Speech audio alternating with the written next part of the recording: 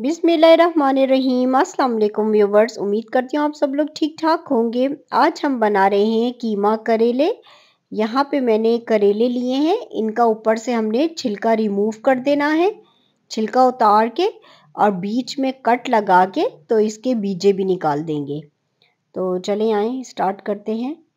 तो यहाँ पे देखिए मैंने इसका छिलका उतार दिया था करेलों का और बीच में से कट लगा के तो इसके बीजे भी निकाल दिए हैं।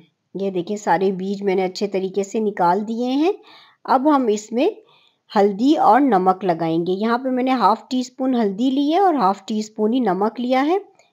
हल्दी और नमक को मिक्स करके हमने करेलों के ऊपर लगाना है और इसको हाथों की मदद से अच्छे तरीके से मसल मसल के लगाएँगे। करेलों के अंदर भी और बाहर भी। इस तरह से क्या होगा कि जो करेलों का कड़वापन है ना, वो ख़त्म हो जाएगा। फिर ये करेले इतने कड़वे नहीं होंगे। इसको लगा के रख देंगे हम तकरीबन 20 मिनट के लिए। अच्छा यहाँ पे मैंने कढ़ाई में वन फोर्थ कप जो है कुकिंग ऑयल लिया है और उसमें दो टेबल स्पून लहसुन अदरक का पेस्ट डाला है। इसको डाल के थोड़ा सा फ्राई करेंगे। उसके बाद हमने इसके अंदर मसाले डाल देने हैं। मसालों में मैंने वन टीस्पून नमक वन टीस्पून लाल मिर्च पाउडर वन टीस्पून मैंने इसमें लिया है कुटी हुई लाल मिर्च हाफ़ टी स्पून हल्दी है वन टीस्पून गरम मसाला, वन टेबल स्पून सूखा धनिया पाउडर है और वन टेबल स्पून ही इसमें सौंफ का पाउडर है। सौंफ मैंने घर में ही मोटी मोटी सी कूट ली थी। इसको डाल के अच्छे तरीके से हमने भूनना है मसाले को। अब इसमें हम थोड़ा थोड़ा सा पानी डालते जाएँगे और मसाले को भूनते जाएँगे। तकरीबन हमने मसाले को छः सात मिनट तक इसी तरह भूनना है। इसको पानी डालेंगे और भूनेंगे ताकि मसाला जले नहीं।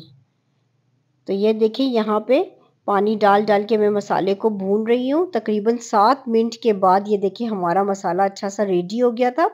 अब मैं इसके अंदर कीमा शामिल कर दूँगी। तो यहाँ मैंने चिकन का कीमा लिया है। आप बीफ का मटन का कोई भी ले सकते हैं।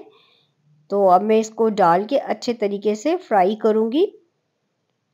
अच्छे तरीके से हमने इसको फ्राई करना है। चिकन का कीमा जो है वो साथ जुड़ जाता है तो स्पून की मदद से इसको हम साथ साथ तोड़ते भी रहेंगे।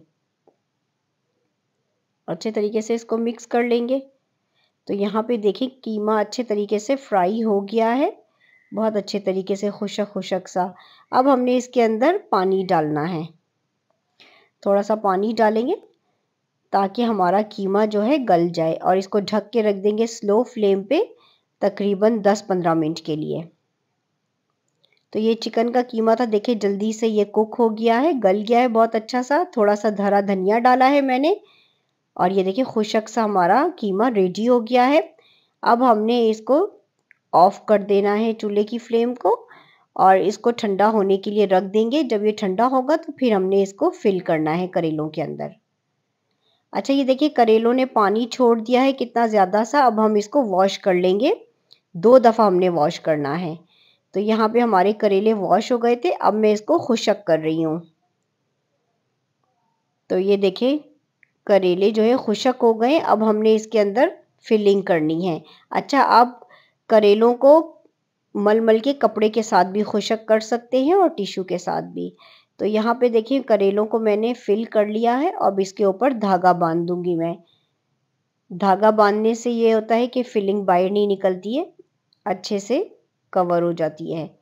तो यहाँ पे ये देखिए, कीमा बच गया है, इसको हमने बाद में फ्राई करना है और ये देखिए हमारे करेले फिल हो गए हैं। अब हमने इन करेलों को फ्राई करना है।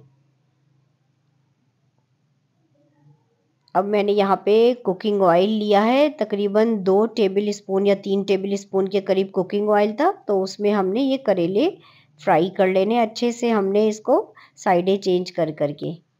तो ये देखिए, हमारे करेले अच्छे से फ्राई हो गए हैं। अब हम कीमा रेडी करते हैं।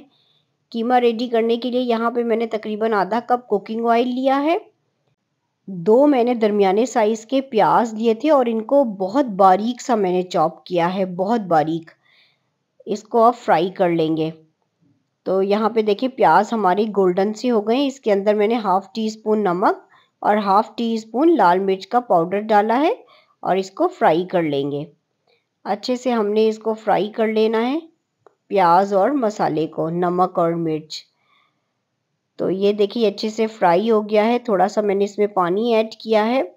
अब मैं इसके अंदर टमाटर शामिल करूँगी। तो मैंने यहाँ पे चार छोटे टमाटर लिए थे। इनको भी मैंने चॉपर में डाल के इतना बारीक इनका मैंने पेस्ट बनाया है। बहुत बारीक सा। टमाटरों को भी अच्छे तरीके से हम भून लेंगे। बहुत अच्छे तरीके से हमने इसको भूनना है। साथ ही हम इसमें हरी मिर्च डाल देंगे कटिंग करके लंबाई से। तो ये हमारा मसाला अच्छा सा भुन गया है, तकरीबन दस मिनट लगे होंगे। उसके बाद हमने इसके अंदर कीमा शामिल कर देना है, जो हमारा कीमा बचा हुआ था ना। फिलिंग के बाद वो हमने कीमा इसमें शामिल कर देना है और इसको अच्छे से भून लेना है। तो यहाँ पे हमारा कीमा भी रेडी हो गया है। अब हम इसमें थोड़ा सा पानी डालेंगे। उसके बाद हमने इसके अंदर फ्राई किए हुए करेले रख देने हैं।